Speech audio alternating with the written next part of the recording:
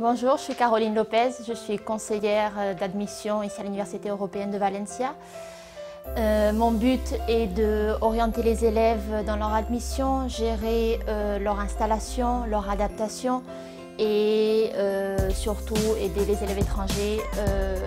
à venir sur la ville de Valencia et de connaître et de commencer une formation qui peut être une grande aventure pour eux. Un des points forts de l'université, et décidément, ce serait euh, toute sa, méthode d'apprentissage qu'elle offre à ses élèves,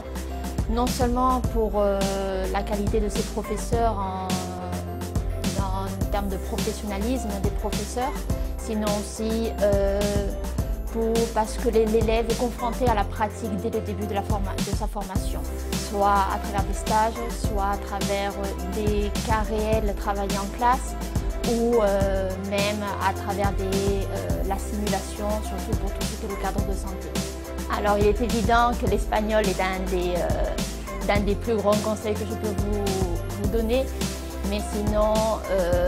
il est vrai qu'on est une équipe assez proche de chacun de nos élèves, donc n'importe quel doute, soit pour votre installation,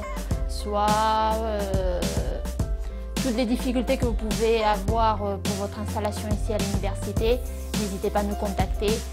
à travers moi-même, le reste de mes, collègues ou, euh, même le France Espagne Éducation qui est évidemment là pour vous aider.